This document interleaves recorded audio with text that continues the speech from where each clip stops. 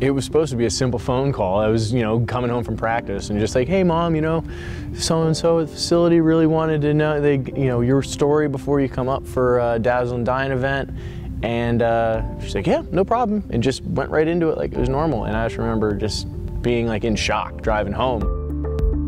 The Falcons do an annual dinner called Dazzle and Dine, where they get a group of survivors or women who are currently fighting breast cancer to come in. They do a whole day where they go to get their hair done and makeup and clothes and all that. And then we take them out to dinner. And the past few years, we've actually cooked hibachi for the ladies, which hit or miss on our part, you know.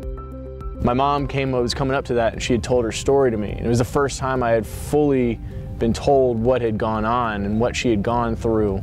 And it was crazy to think that it took 20 years and it took a, an event put on by my employer, by the Falcons, for me to fully comprehend what she'd gone through and for her to fully tell me the story.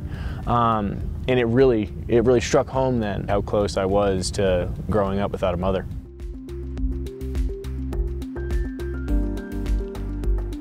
Early and often. My mom is a big proponent of just get checked early and often, especially if you have any predisposition from family members or anything like that. Always get checked out very early and very often.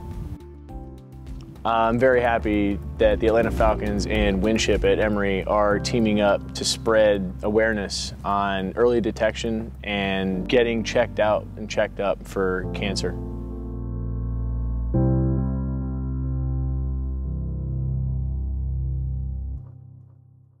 Falcons punter Matt Bosher had never heard the full story of his mother's cancer scare until well into his pro football career.